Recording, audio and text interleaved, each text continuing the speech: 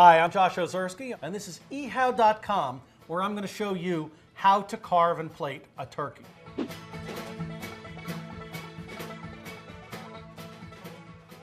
I have in front of me a Thanksgiving turkey.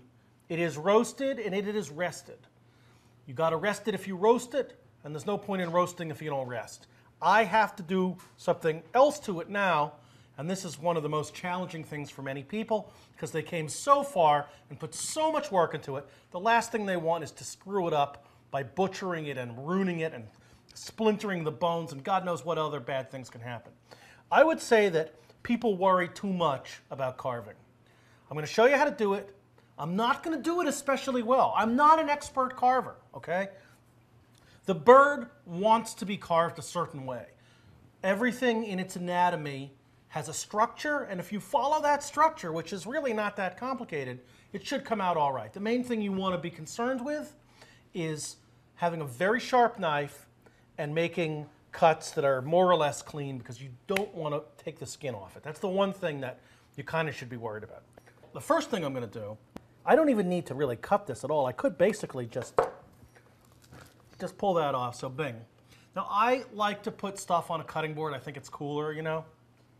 First thing I'm going to do is I'm going to separate the legs from the breast, which is to say the white meat from the dark meat. Now, this has nothing holding it together, and so all I have to do is push it apart.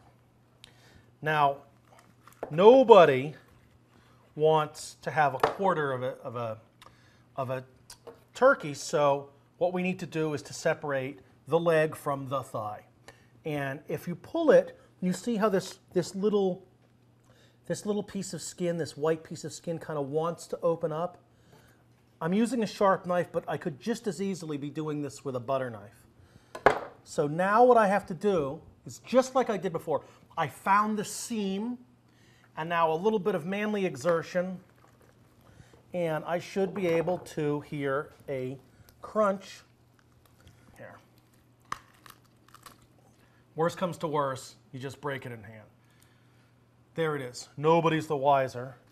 I'm going to carve right through here. I mean, let the meat be your guide. If your knife hits a piece of bone, you're not going to cut through the bone. You're not strong. You don't have samurai knives. Just go around it, okay? There we go. So there is a nice piece of thigh meat. Now we get to the white meat.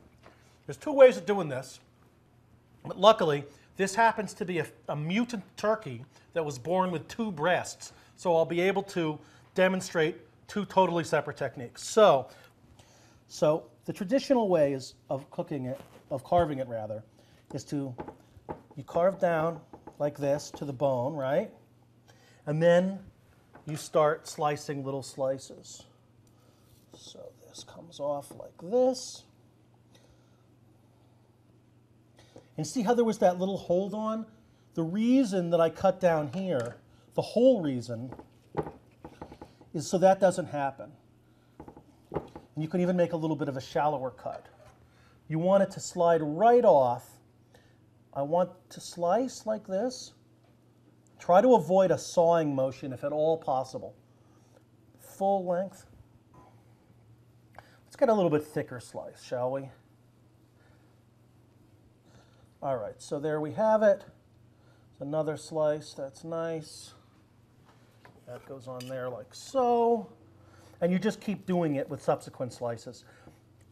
I like to make thick slices, and I think it especially behooves uh, a piece of meat that does not have a ton of moisture to have it be a little bit thicker, lest it start to chip. And then, you know, what you do is once you have it here, it looks nice if you sort of arrange it so that it's kind of tiled out, you know, like, like this. I'm going to show you another technique that is cruder, easier, more efficient, and gives you better slices. It is as follows. I'm going to separate down here, right? I'm going to take this wing off. Look at that. Look at that wing. Wow. You know, you could tear it off with your hand and then trim it off a little bit so it looks a little nicer. The wing, by the way, is white meat. Isn't that strange? It never made sense to me. Okay, this is the turkey's backbone right here. Now I'm going to find with my knife the same thing. I'm feeling for it. I'm the blind man feeling with his cane. And now I'm just going to cut all along down along that, that backbone. Here. And simple as that. Boom, there's my turkey breast. I mean, I can get more breast meat here, that's fine, congratulations, very happy for you. But that's really what I want at the centerpiece of my board. So I'm gonna cut away this little unappetizing piece of unbrowned skin. I'm gonna trim this up. And now what's gonna happen is instead of having to try to like do this magic act of like slicing at this weird angle and everything, I'm just going to make people nice slices that are going against the grain of the meat and reassemble it and essentially plate it the way you would a steak.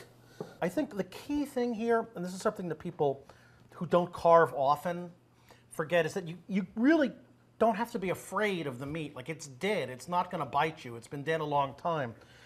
You can manhandle it all you want. If that helps you to cut it better, then that's definitely what you should do. So, like what I have now is a relatively appetizing looking breast.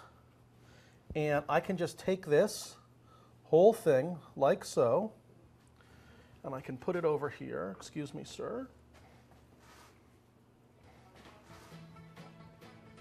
And that is the plated turkey.